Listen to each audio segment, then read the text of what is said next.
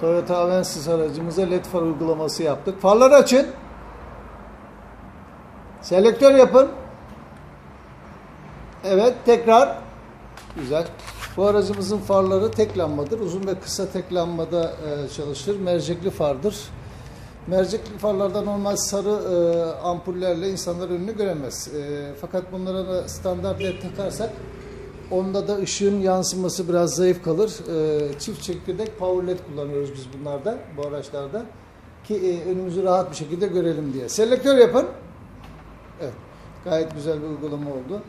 Far ayarımızı her zaman söylüyorum çok önemli. İnsanları rahatsız etmemesi lazım. Ee, karşı aynaya baktığımızda yukarıda bir karanlık, aşağısı aydınlık görüyorsunuz.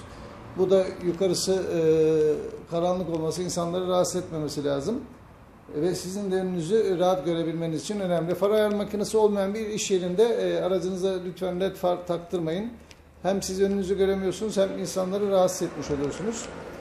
Gayet güzel bir uygulama oldu. Yapın selektör. Evet. Toyota AS aracımıza led far uygulaması yaptık. Tekrar yapın selektör. Evet. Hayırlı olsun. Güle güle kullanın. Uygulamaların iş yerimizde satış ve montajını yapıyoruz. Video altındaki iletişim bilgilerinden bizimle bağlantı kurabilirsiniz. İnternet satışımız yoktur.